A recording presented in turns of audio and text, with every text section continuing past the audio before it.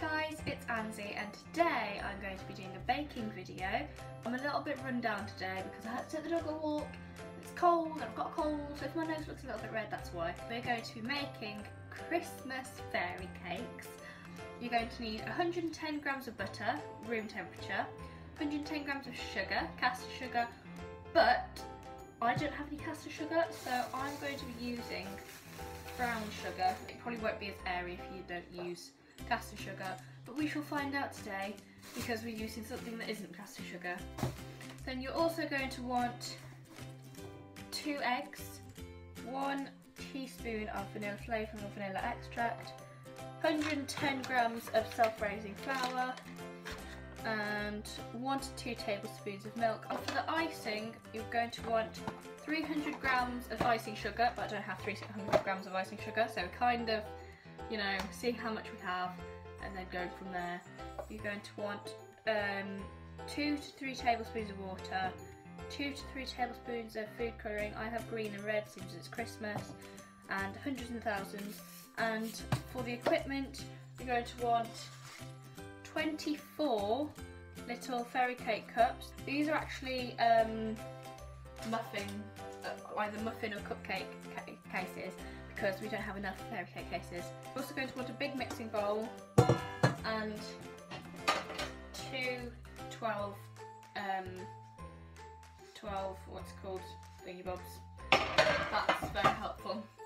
And two, I don't know, those. Going to want one of these. You're going to preheat the oven to 180 degrees or gas 4. So that. On my oven, if you can see, there's a little orange dot there. When that orange dot goes, that means that it's ready for things to go in. I don't know whether it has that on all ovens, but yeah. Okay, so the next thing you want to do is you want to line the tin with the cases, which I've done earlier. They are green and red for Christmas. Um, so, yep. Now, you're going to want to cream the butter and the sugar together until it's pale. Um, orange light over there still on, so I'm going to get the butter and put it into the bowl with the sugar. If it stays in like that, give it a bit of a whack off the side, or you can get your spoon again and scrape the rest in. Right, so now you're going to get your, whatever this is called, I can't remember, I'm sorry. Can't even remember which ones they go in.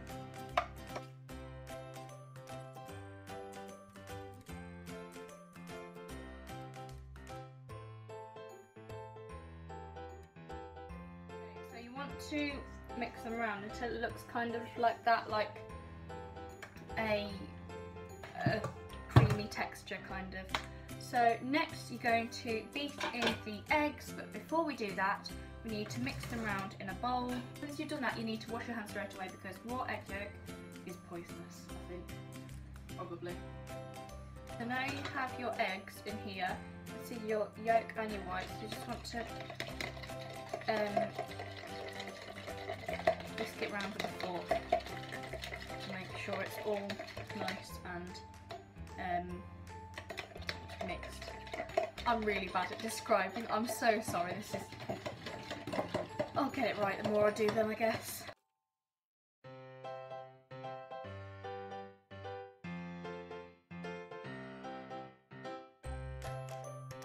add this in a little bit at a time while whisking now you can't see my face, but you can see ish what I'm doing.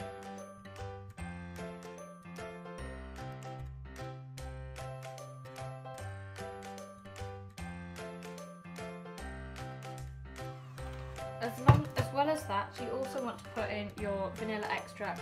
So you want a teaspoon of that. I can actually open it.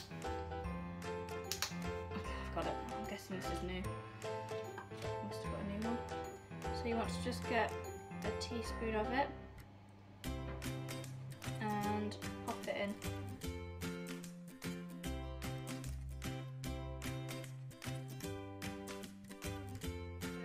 now you're going to fold in the flour.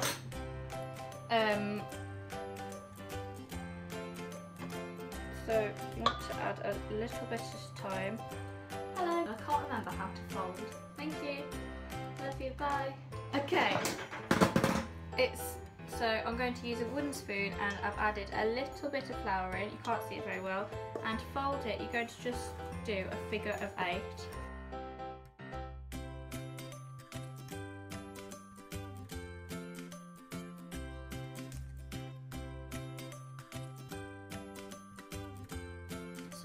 Done that, okay, I'll come down here. So once you've done that, you want to add in your milk so it's at a soft dropping consistency.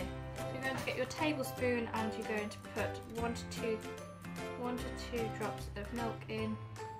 One, two, oh well.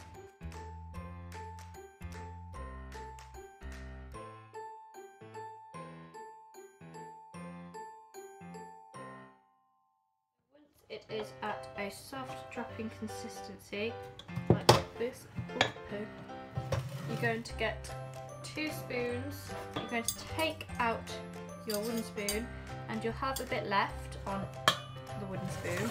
You're going to half fill the cupcake cases, the fairy cake cases even, um, so, that, so it gives them enough rise in the oven. So you're going to get it and scoop it in like that and then like, yeah,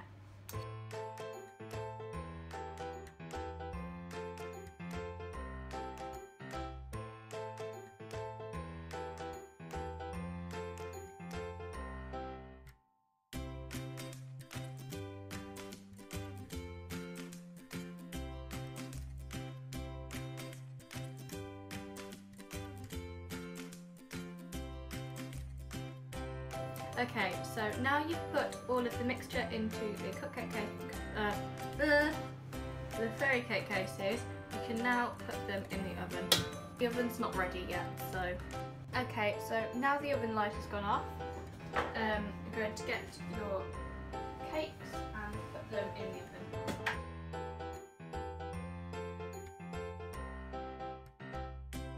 You'll bake them um, for 8 to 10 minutes until they're golden brown. While you're waiting for your cakes to finish baking, it might be good if you wash up the bowls and everything like that. Okay, so the oven's just gone off, so that means they're ready. You want to get your oven gloves. I admit these didn't go as well as I was hoping to be switch off your oven now because you don't need any more. While you're waiting for these cupcakes to cool down, let's make our icing sugar. So to make your icing sugar, you want to get a bowl. Because I'm using two colours, I'm going to get two bowls. I only have um, like 30 grams of icing sugar, so that is way too little. I'm going to go to the shop and buy some more. Back in a bit. Okay, so I've been down to the shop and I've got the icing sugar. How cute is this little packet? I cannot believe it. It's now starting to go dark. I put the lights on and also the washings on and I've measured 300 grams out. So let's carry on from there. So what I'm going to do is I'm going to sieve it um, into each of these little ones. I'm going to put 150 um, grams of sugar in each one. Um, so in that way, I can, when I can actually reach it, I can put one um, green food colouring in and one red food colouring in. So, they look really Christmassy. So yeah. Right, I'm going to just sieve a little bit at a time.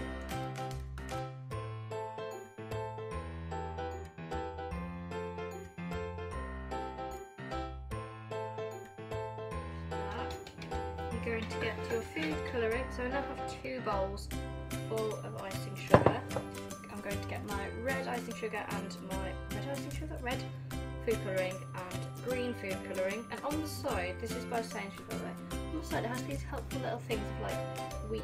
If you want it weak, put this much in. If you want it strong, put this much in. Which I think is quite helpful. It might help if I get a bigger bowl actually. I've now put taken it out of those two bowls these two bowls which are bigger and if it, oh, there you go, you can see the line there. Whereas before it was up to like here, now it's up to here. So, next thing you want to do is you're going to get two to three tablespoons of water.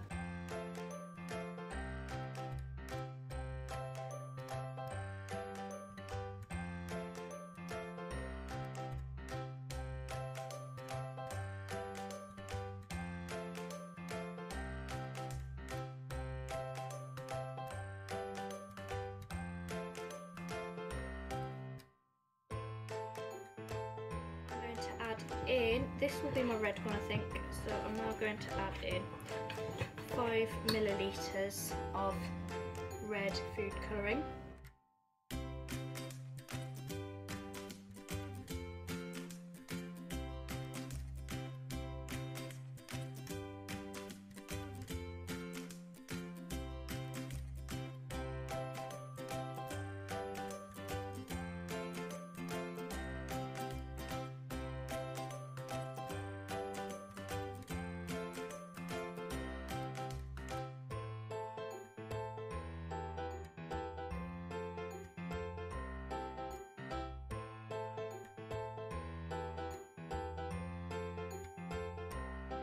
Sure to keep stirring both of them because otherwise they'll solidify before you've even done anything with them.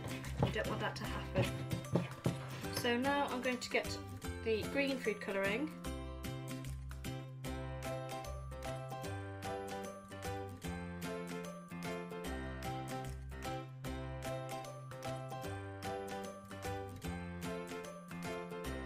very small and one looks a little bit like a biscuit um, so that's literally how thin it is. I think I should be eating that one not giving it to my family.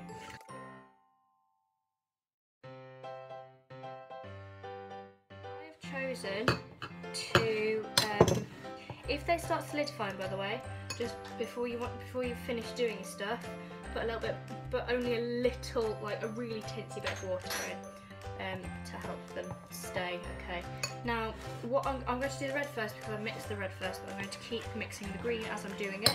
I'm going to put the cupcakes on this little wrap which I got from the um, oven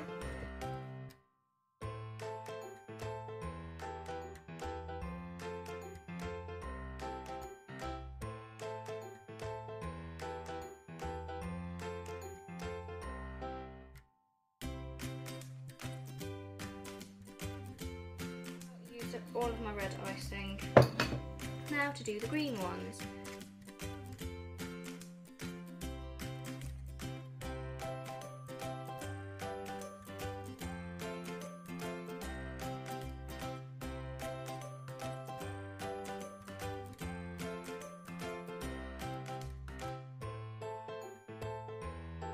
A little bit of hundreds and thousands